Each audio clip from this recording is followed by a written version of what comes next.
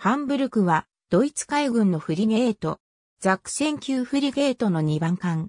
艦名は自由藩ザ都市ハンブルクに由来し、この名を受け継いだ、ドイツの艦艇としては5代目にあたる。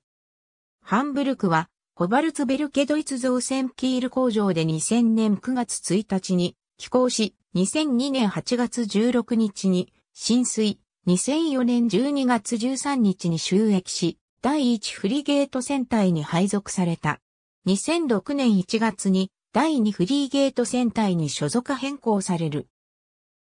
2010年10月19日にソマリア沖の海賊に対処するためのアタランタ作戦に参加するためビルヘルムスハーフェンを出港し、途中の10月から11月中旬にかけて地中海にて統合防空作戦センターの試験が実施される。ラピッドアロー2010演習に参加し、11月11日に統合防空作戦センターの実験は成功している。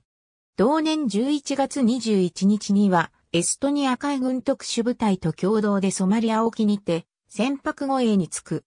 同年12月16日に、海賊から解放され、太陽国海軍の外洋哨戒艦、パタニに収容された貨物船、ハンニバル2の乗員に対して、医療援助を実施する。